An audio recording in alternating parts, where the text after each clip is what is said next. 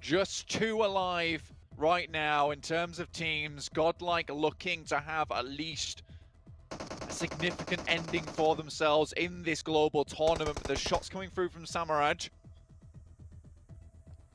Getting a little bit closer. They have got the zone all to themselves. There is no opening for Nova to go for unless they get an off angle. King is down, but Clutch God falls, and it's Paraboy and Jimmy once again. The final duo from Nova. Can they stop this rotation? Paraboy swings the buggy out, repositions, but goes down. And Godlike want to do India proud with this final game. They are looking to take down Jimmy, the last they need.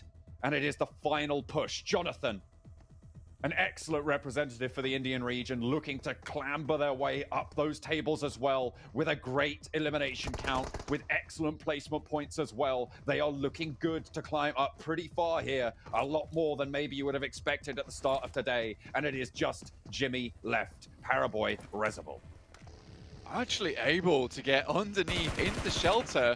And like you said, he's Reservoir here. Samaraj kind of has a whiff of what's going on, moves up, try and finish them off, move back into shelter, trying to get the healing off here and move round. This is this is interesting play coming out from Nova and could be good for it. And they're playing with their food at this point